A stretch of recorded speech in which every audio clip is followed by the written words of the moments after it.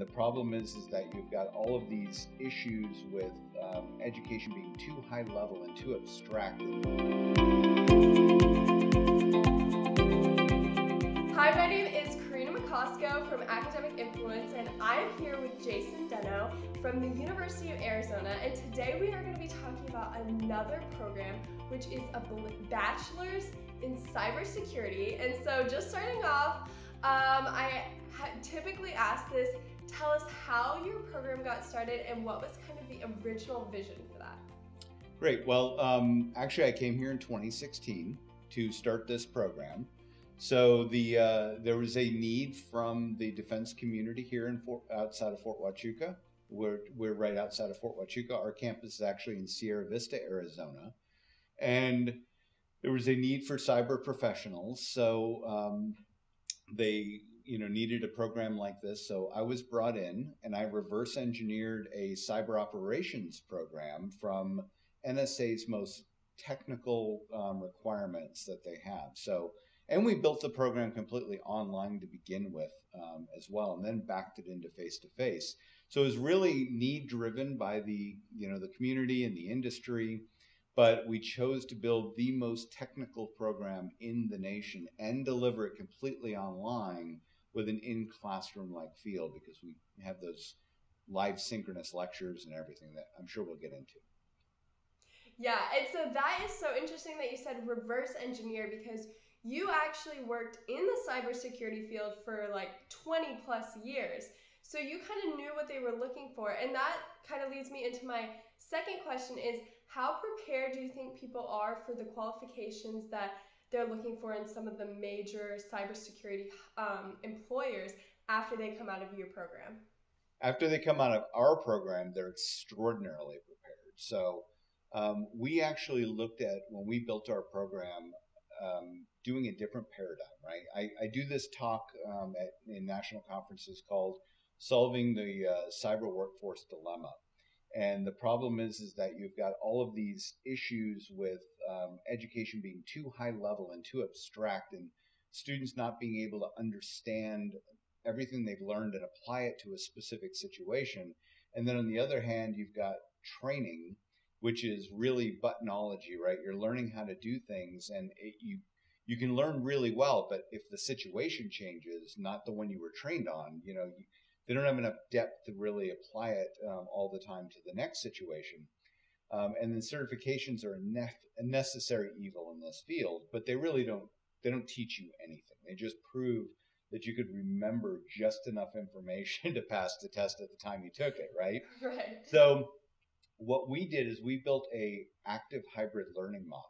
So we took the best of education and the best of training and then we added in research and simulation based education components and critical thinking and we merged that all together. So our students learn the high level concepts and the methodologies but then they have to do some research and some critical thinking. Then they have to practice it in a simulation.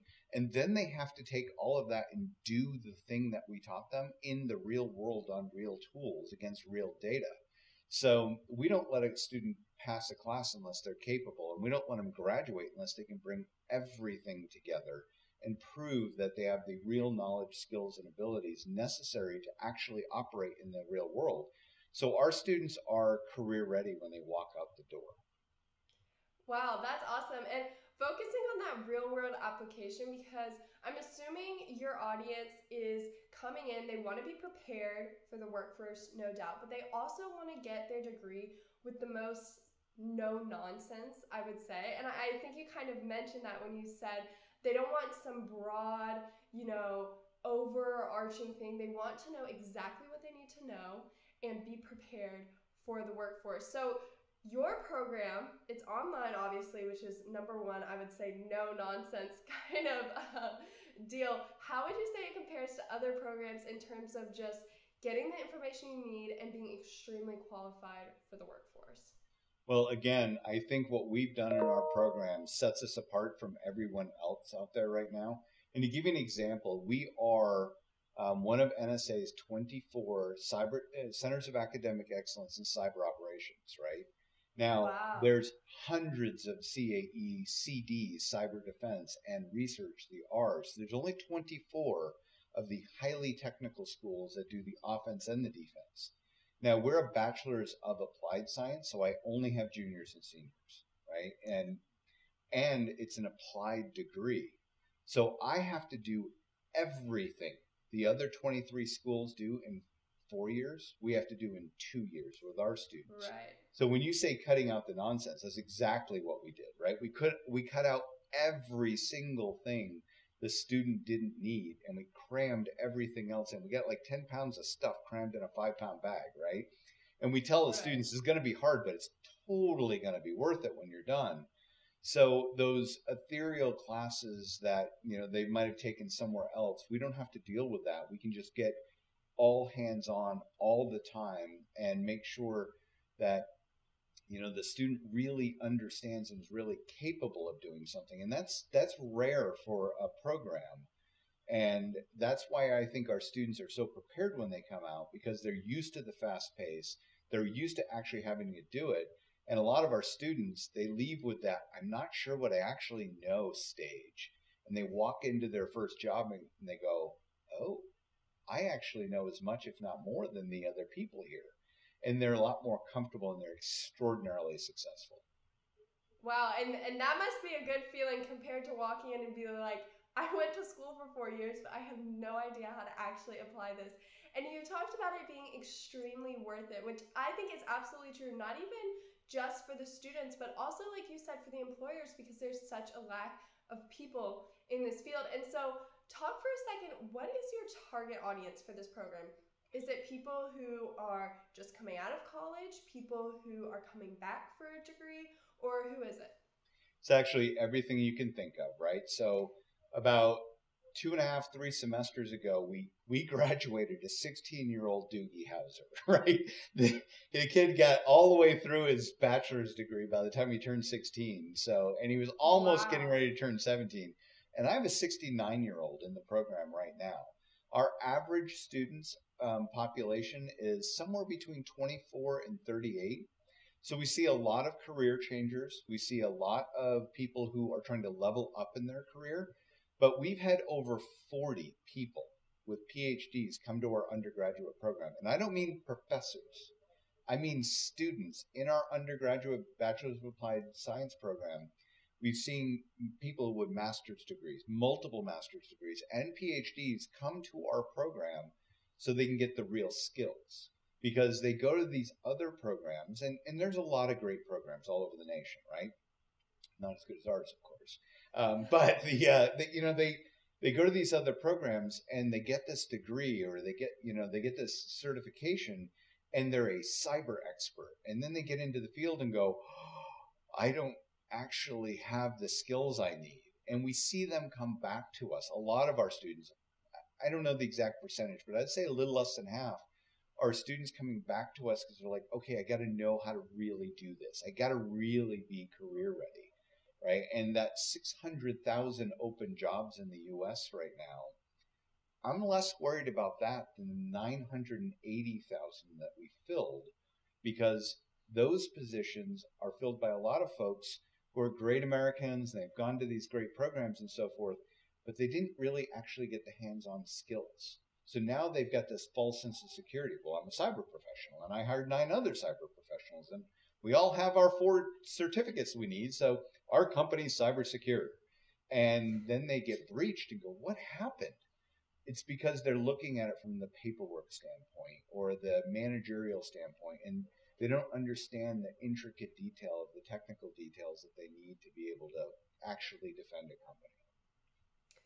Oh, that is so interesting. And so the people who are coming back to get those their degree are those people who have already gotten like a PhD or a master's from the University of Arizona or another school in cybersecurity and then they realize that they're not prepared. Some of them. I don't think we have any that have come from the University of Arizona, um, but okay, so other we've had- we I, I know I've had um, students with a PhD in you know um, cybersecurity from another university. I won't mention them because I don't want to. You know, I think they're a good course, university, yes. but I don't want to pick at them, right? Um, Yeah. But that student came in and he was like, "Listen, I, I can say all the words, but there's I can't do any of the things. I need you to teach me how to do the things, right? But then I had another uh, student come in with a PhD in aerospace engineering, and he came here to learn cyber so he could actually apply that in aerospace engineering. So, you know, it's it's a full gambit of things. We do have high school students who get their community college, you know, AA concurrently while they're in high school and then magically show up with us at 18 years old, ready as a junior. There's few of those and a few of the of the graduate level folks that have already done it um, on both ends. But, you know, the out of the 255-ish so that we've graduated so far, I would say the vast majority, well over 200 of them were, you know, their first degree that they were working for. The, the others were typically coming back and trying to kind of level up or change careers. Interesting. And so, like you mentioned, there are thousands of career openings in mm-hmm. cybersecurity. And so, why do you think that is? Is is it just because cybersecurity is such a new career path that it hasn't kind of caught up to the amount of people who are getting a degree in it? Or is it just because we need so many cybersecurity people? Well, it's believe it or not, it's a very common question I get, right? Because usually what I get is, hey, how long is this career going to be hot, right? I don't want to get a degree and then have all my, you know, my degree not be worth it shortly thereafter. Um, so I usually answer that question, um, and I'm getting to answer this question here with a question. And I'll ask them, do you know every process running on your phone right now? And do you know if it's legitimate or not? Can you tell me if somebody's actually on your phone with you? And more importantly, and usually the younger the younger students in our program, I'll ask them a follow up question of, if an attacker's on your phone, but you don't know it, your battery doesn't die any faster, your phone doesn't slow down, you see no evidence of them there at all. Do you even care? And you have no idea how many people say, "Well, I guess I don't," right? But the problem is, is that cybersecurity is being driven by a couple things. Number one, it's the shiny new toy, right? Cyber, AI, quantum, you know, those are all the big things that you want to be part yeah. of, right? Um, but believe it or not, it's you, it's me, it's all of us. We are making it worse. So, um, do you have a smartphone? Yes. When you go to get your next smartphone, do you want it to be slower? Uh, you want no, less features. You want less features, though, right? No. And you want to wait an extra year or two before it comes out. Yeah, no. Right. So you want better, faster, and cheaper, right? Because you, you know, and that's the consumer mindset, right? So the consumer saying, I need this better, I need it faster, and I want it cheaper, right? For God's sakes, I want it. I don't even want to pay for it. I want them just to give it to me with my phone plan, right? So the consumer is driving this market, and Apple's thinking, "Ooh, I need to get all these consumers," or Android, you know, Samsung saying, "No, no, no, I want those consumers." So Apple's not going to spend an extra two years doing security on the phone, neither is it Samsung. I'm not picking on either company. They need to rush that to market to convince you to buy it, right? Because that's what you want. So they're packing it with more features. They're going to push it out faster, and they're going to make it cheaper which means they're not going to test it as much because testing costs time, money, and, and energy. And the features, you want to work in the command line, right? You want to you want to write in every single command into the, your keyboard that you're doing, or do you just want to click on something? Yeah, maybe I'll just click on it. right. So you're getting abstracted further and further away from the technology, where it's just this thing I touch and it does what I want it to do, or I talk it to and it does what I want to. Well, we're rushing it to market and we're making it cheaper. So we're not spending the time and energy it takes to secure the device. And we're creating more and more holes because the more features you put in that don't get tested, they get rushed to market, the more chances there's a, a security issue. So until the consumer either becomes extremely aware of everything that's happening on the device and can manage it themselves, or we all decide we want dumb flip phones that take three years to come to market and they're like $900 or $1,900. We're making this problem worse. So cyber professionals are going to have very, very long careers. Yeah, so basically, in conclusion, cybersecurity is not going anywhere anytime soon, and it is an incredible field to get into. Absolutely. yeah, and so just finishing out this interview, I know we've pushed a lot of information onto people, especially because cybersecurity is not a very well known field, even though, I mean, we mentioned it's a huge field. I feel like people even maybe hear about data science more, computer science, even though those kind of go hand in hand. Like the more people you have in computer science, the more people you're going to need in cybersecurity to kind of check the two. So, just finishing up, is there anything that you would want to say to prospective students who are maybe considering cybersecurity, or even if this is like one of the first times that they're hearing about this booming field and the what did you say, six thousand job openings? What would you want to say to those?